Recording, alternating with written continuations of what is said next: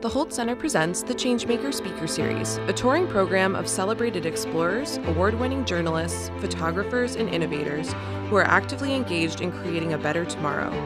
On Thursday, April 25th, join photographer and filmmaker Pete McBride and adventure writer Kevin Fedarko to learn about their epic quest on foot through the entire length of the Grand Canyon. Tickets are available at hultcenter.org.